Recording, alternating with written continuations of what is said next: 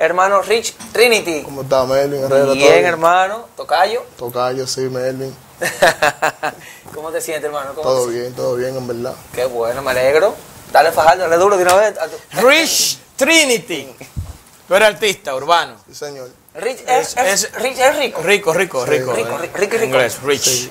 Rich Trinity. No es muy largo ese nombre.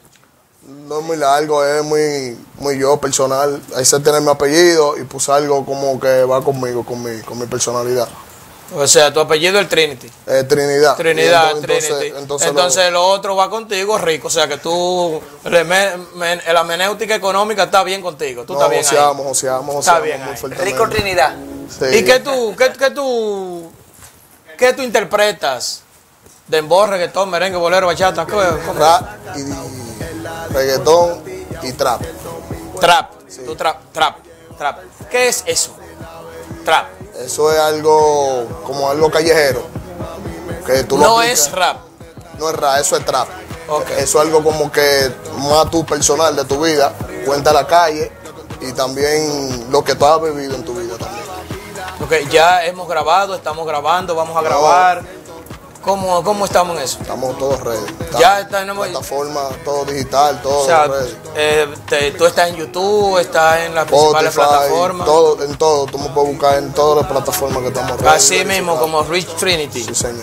¿Qué, qué te motiva, Rich? eh, ¿Qué te incursiona, aparte de que eres una persona trabajadora, a incursionar en ese género? Si hay más géneros, salsa, bachata, reggaetón, ¿por qué?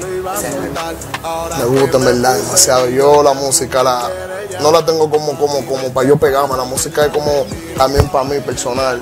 Relajarme. Me gusta tanto la música. Es todo literal. Yo siempre tengo mi Anfree. Y quiero comprar mi carrito para tener mi música también para eso. Aparte de lo, de lo que yo canto. Tú tienes la, la voz del Chapa. Chapa, la voz del Pati, tiene la voz. La misma voz.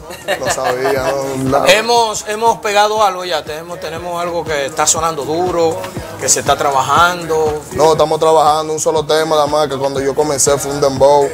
Sonó un poco, sonó un Lo poco que, en el lo que barrio. está sonando ahora es. No, eso es reggaetón, eso ok.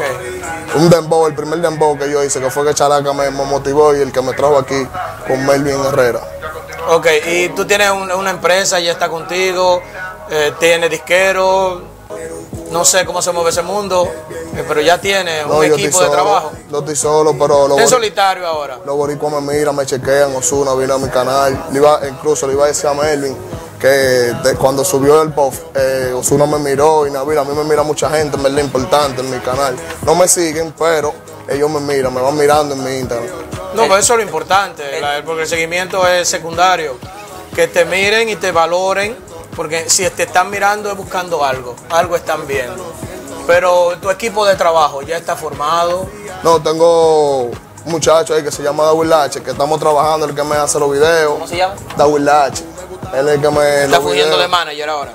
Sí, él es el que me, me hace los videos, me hace todos los catálogos, todo. Incluso yo le mandé a Melvin también todo eso. Ese es ahora mismo que desde cero, desde, desde la escuela también me apoya. Yo no lo suelto por nada. ¿Cómo marcha el proyecto suyo, eh, específicamente donde usted vive actualmente? ¿Cómo lo acepta la comunidad, el género suyo? ¿Qué te digo? Los muchachos allá en el barrio dicen que no, que me quite. Pero yo estoy innovando algo nuevo. Te dicen que te quite. Sí, que me vaya para el dembow. Que la reggaetón no tiene, que en este país no funciona. Y yo le digo, no, mentira, yo sé que papá Dios me va a ayudar. Solo vemos un par de colegas que estamos trabajando reggaetón, que es Gabriel y unos par de, de compañeros también, Gabriel, mío, mío. O sea, lo que te dicen los compañeros y amigos es que, que te vaya por otra línea. Sí, dembow. Ok, no es que te quite, que te vaya por otra Sí, línea. y que, que Ah, Dembow, que es lo que está en el momento, que es lo que está pegando. Ok, pero tú no quieres esa línea, tú quieres eh, hacerlo más en grande. más en grande, sí. O sea, lo que nadie piensa, hacerlo. algo diferente, igual que el reggaetón en su tiempo, que hizo algo diferente. Eh, la historia de allá, de Ari Yankee, esa persona, lo, lo hicieron algo diferente allá, el reggaetón, porque antes no era, no era reggaetón, algo como un sandungueo, un perreo allá en, en Puerto Rico. Sí. Entonces ellos vinieron, esa gente, Arcángel y, y Nicky Jam, Tego Calderón. Tego Calderón, esa gente vinieron con algo diferente, esa gente conectaron con el reggaetón. Entonces yo quiero hacer algo diferente aquí también.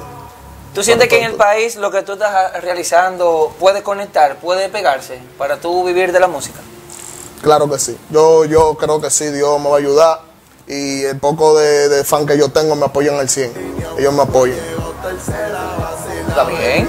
Y ya, eh, o sea, debo hacerle la pregunta, aunque quizás sea obvia la respuesta por lo que estás diciendo. Eh, ¿Está en proceso o ya lo tienes? Presentaciones.